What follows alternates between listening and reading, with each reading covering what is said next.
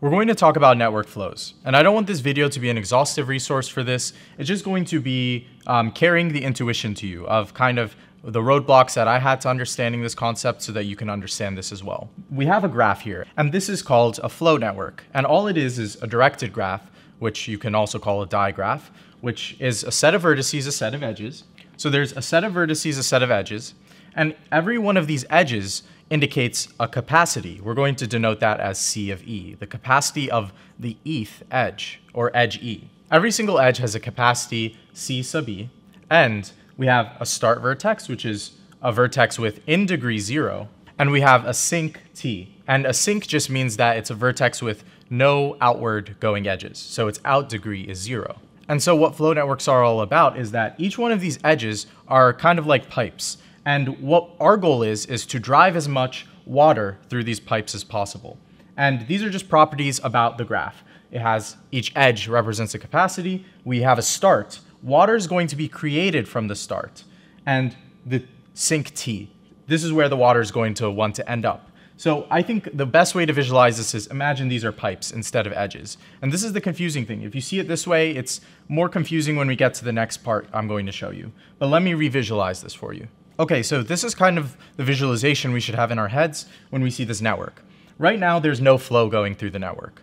And flow is just this conceptual unit quantity where we're going to try to push it Let's just we'll imagine it as water. These pipes have a certain capacity, and we cannot push more than the capacity of a pipe at any single moment in time. And that means the maximum that we can ever push out of the start is going to be the sum of the capacities coming out of the start. If we're able to push all of the flow out of the start, then we've reached the maximum flow that we can even generate. So if I filled up this pipe 2 going outwards and I fill up this 1, then that's 3. There's more restrictions on what we can do here. So each edge is going to have a certain amount of flow going through it. It's going to, we can denote that as f of e. And so the amount of flow going through a certain edge, it can't be less than zero, and it can't be greater than the capacity of the edge. So that's what restricts the amount of flow that we can push through any given edge. And we haven't pushed any flow through this flow network yet, so we're going to get to that part, but we're just imposing some restrictions on what this is going to look like for us. And so the value of a flow, uh, we'll denote that as v of f, so the value of this flow that we're going to create is going to be the amount of flow that we can get to come out of the start vertex. And we can see that the max it can ever be is three because we'll have two coming out here, one coming out there, and then if we put out any more, we're going to break the pipes. So now this is just going to be three. That's the sum of all of the edge capacities coming out of the start, and we'll denote it like that. So in this case, it's, it's, going, it's going to be three uh, at the end of this once we're done pushing flow through, but it's going to be the we say F out of S, but in this case, we're just summing the amount of flow we're gonna push through the edge capacities. But not in every case will we be able to push as much water as we want. So in certain networks, we're going to be limited, and that's going to bring us to max flow min cut. Our max flow that we can push out of the start will be limited by the minimum cut that we can find in this flow network, and we'll get to that. But for now, we're just trying to find an optimal flow and then we're going to draw that relationship later. So we're going to get rid of this. And so now what we can do is we can just eyeball this and decide what to do. So we have a capacity of two, capacity of one. We see these guys are pointing that way. This three is pointing down.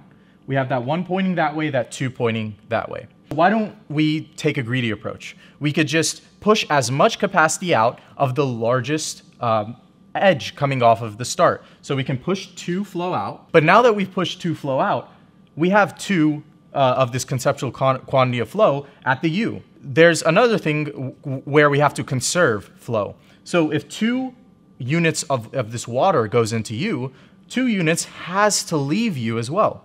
So we could be greedy again. We could push it through this three edge, as much flow as possible out of here. So we can go this way. Okay, so what you just saw was we just pushed two units of water down this way. So now U is happy. Two units of water are coming out of it what we're actually doing is we're following a path to T. Finally reroute this water all the way, we fill this final pipe. And so this is it. What is the value of our flow? The, the answer to that question is how much flow is coming out of the start? You see that the value of our flow is 2. But the issue here is, have we maximized that value? Have we maximized the water that we can push through this flow network? And the answer is no, we haven't maximized it. And the reason is, there's still one unit of water left here. Now, we need to reassess what we're doing. We are, are limited here. If I push one unit of water this way, where can that water go? The water can't go up because this edge is coming down here. It, water can only flow down. And then where this pipe is full going this way, we can't break this edge. This pipe will explode. So we're stuck here. And the key realization we can make is how much flow is going through here? Two. How much flow is going through here? Two. What happens if we backed off a bit here? What happens if we erase some of the flow going through here? We just push one unit through this pipe. Remember, this pipe's capacity is three. Well, if we just push one unit of flow here, by conservation, we still have to push one unit out of U, and V has too much coming out of it. Only one unit's coming to V. So let's fix V, the VT edge. Okay, so now do you see what's happening? Now we fix the VT edge. So now we said, U, you have two units of flow. Before we were pushing all two units, so it was great. We've got U's equilibrium. We got U to equilibrium. But now we have one unit of flow still left to push out of U. And which way could that go? It can go this way. And now U is back to equilibrium. So now this are, are we seeing what's going on here? The greedy approach gave us a dead end and we couldn't get this last unit of flow out. But now we realize if we back off on how much flow goes through here, this U is still happy. It got rid of the two units coming into it. It got it out one this way, one that way. And then V said, okay, now I have one unit coming my way. How do I get rid of it? I go towards the T. But now, how do we maximize our flow? We can push one unit of flow through the SV edge. And now V has one unit of flow to get rid of because we just pushed one unit that way. And now V needs to push it finally to T. So this is the optimized flow network. And why do we know that? Well, what is the value of this flow? We're pushing out three units of flow from the start. And uh, as, as a uh, symmetrical statement, we can say we're getting three units of flow to the end. And so the value is now three. And we know that this is the maximum amount of water that we can create and push through this flow network because this is the maximum that the starts the starting genesis edges can actually fit. We only can ever create at maximum three units coming out of these start edges, or else we would break the, the very beginning edges. So no more flow can be pushed through this network and we're complete. We've reached the maximum flow. So now that we've demonstrated how the greedy approach makes us get stuck, and there's actually more optimal ways to push flow through this flow network, we need to think about a way to systematize this. And this is going to bring us to the Ford-Fulkerson algorithm, um, which is the algorithm we're about to do to create a generic way to always find the optimal flow in a flow network. And again, if you want to see proofs for all of this, there's great textbooks to reference. I'll link them below. We're not going to get into any of the deep proofs, but we're going to go over the overarching intuitions. Before we get to the Ford-Fulkerson algorithm, we need to lay a definition, and it's something called a residual graph. And all this is is it's not different from anything we were just doing. That's why I wanted to lay down that intuition base, right?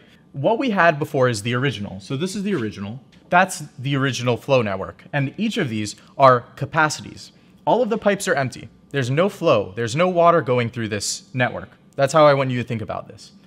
And now we're going to try to push water through this. That's what we want to do. That's our desire is push as much water out of this start and through the network successfully to the sink vertex.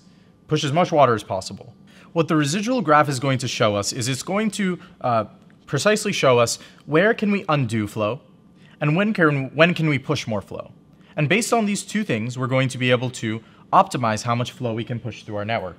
So now, let's go back to what our greedy approach did. When we pushed two units of flow, what happened? We, we, we would push it along a certain path. The path was SUVT. So this is what our greedy algorithm said. It said, push as much flow as possible from the largest edge, and then just find its way to the end. So now, we push two units of flow from S to U, and that's our path. For every one of the edges on that path, and we have three edges, one, two, three, on that path, we're going to show what the residual would look like. So if I push one unit of flow this way, this is what the residual would look like. So just follow me on this. So why did we just do that? This is saying there was a flow quantity pushed from S to U. We can undo that by two.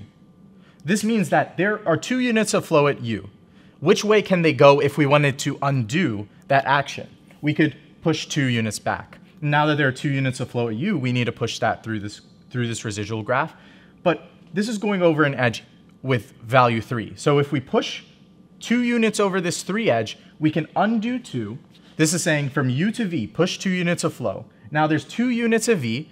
that means we can undo two units of flow, push it back to U. Well, we won't push it back. We can just undo how much we're pushing from U. That's what that's symbolizing. But there's still more that can go through this edge. Its capacity is three.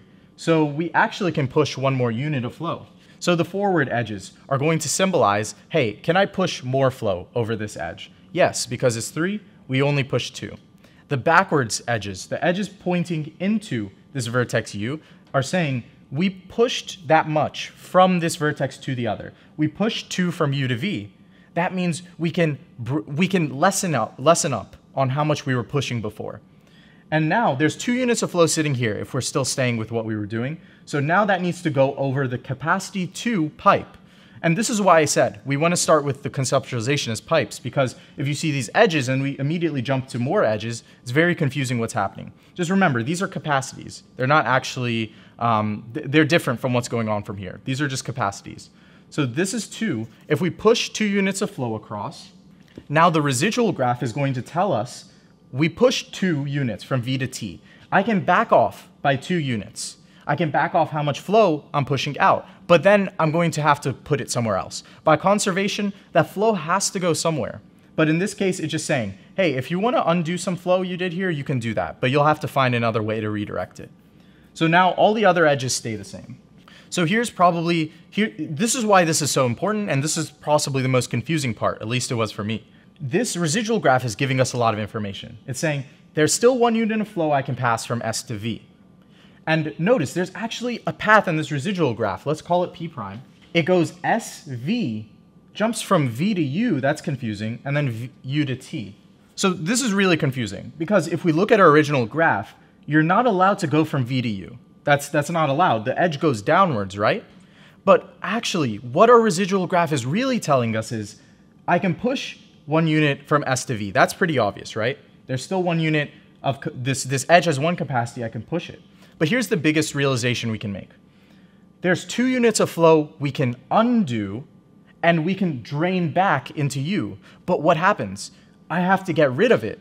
But because we found a path, because P prime is a path in the residual graph, I know for a fact there is a way to redirect that flow to get it to the end in a way that creates more space or allows us to increase the value of our flow. So what happens is, remember how you saw we kicked back one unit of flow back into U and redirected it.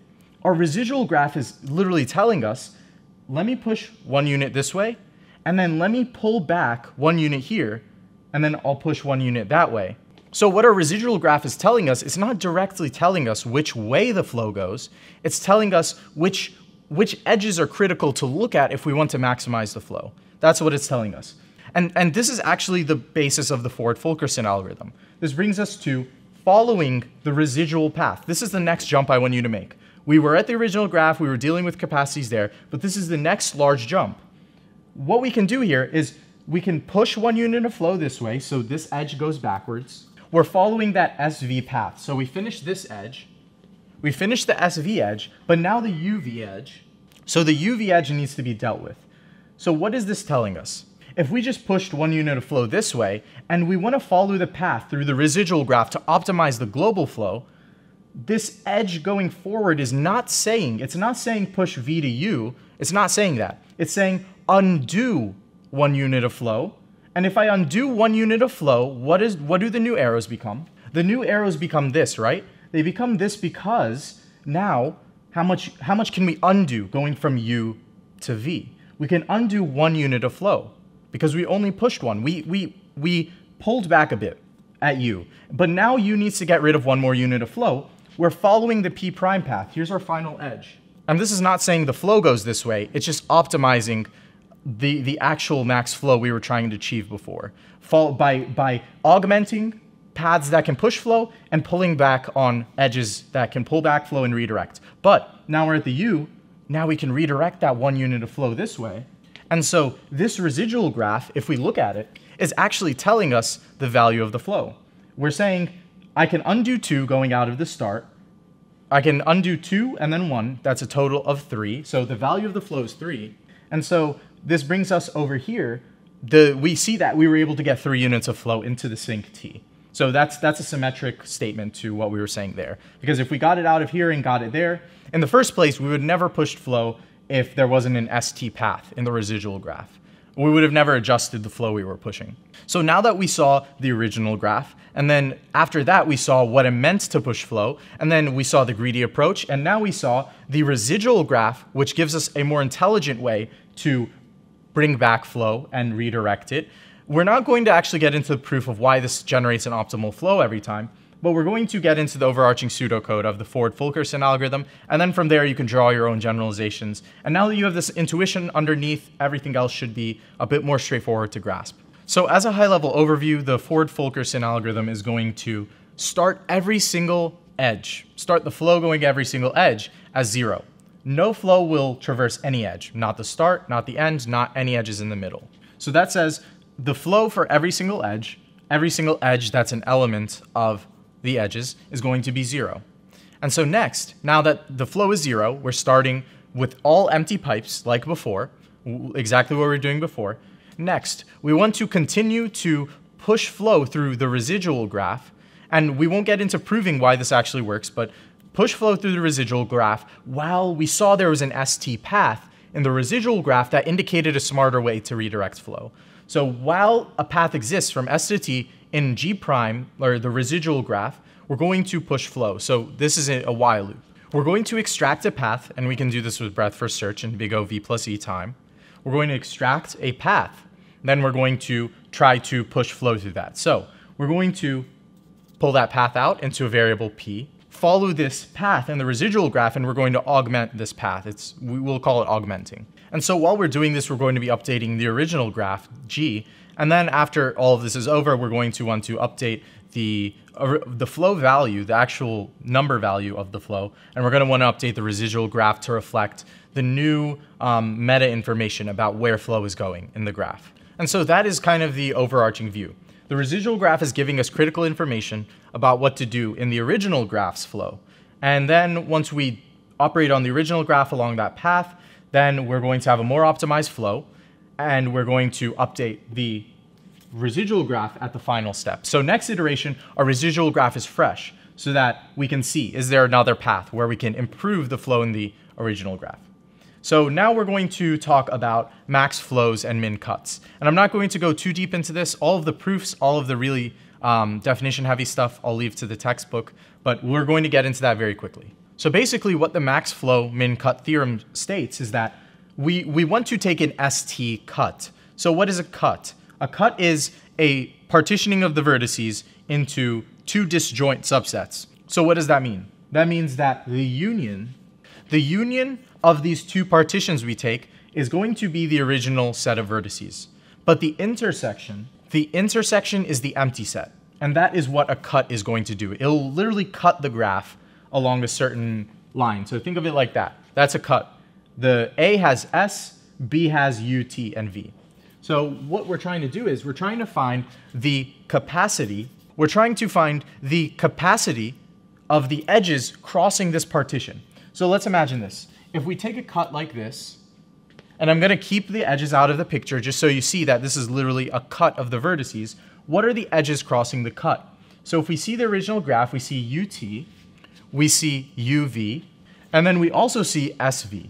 So the, the capacity, the max flow that could be pushed across the cut is going to be 3 plus 2 plus 1, which is going to be 6. So that is the capacity of a cut. We're interested in the smallest capacity cut.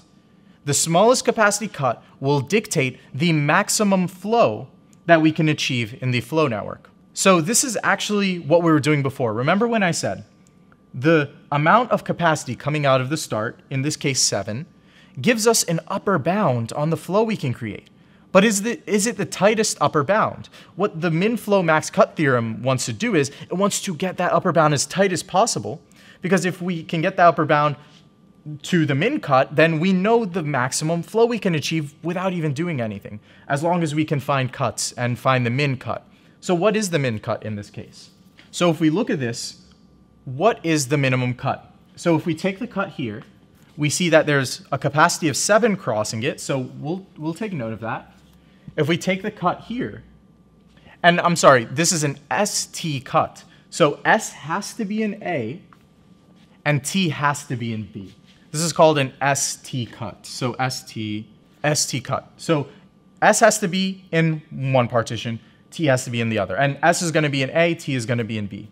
What is the capacity crossing this? We see there's an edge three, three, two, and one. So the capacity of this cut is six. Now we bested seven, we bested seven. Now the new upper bound on the flow that we can push is six. And next, let's take another cut. So we're going to take that. So this is also an ST cut.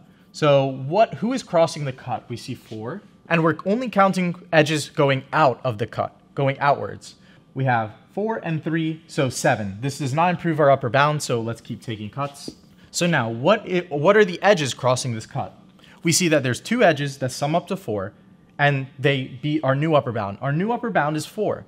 And what we actually just found is the cut that is minimum. The whole thing that we were saying, max flow, min cut, what that actually means is the capacity of the minimum cut, which is four, is going to be the maximum flow if we do the Ford-Fulkerson algorithm, the maximum flow we can achieve given these capacities. So the max flow is also 4. So that's exactly what max flow min cut is saying.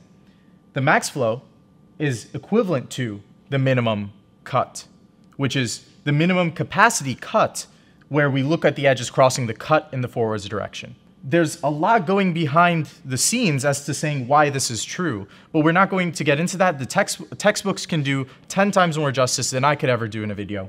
But I just wanted to explain the intuition behind this and um, now that you understand this, you have a lot better pre-context to go and read about this. So this is um, Max Min Cut, flow networks, and the Ford-Fulkerson algorithm.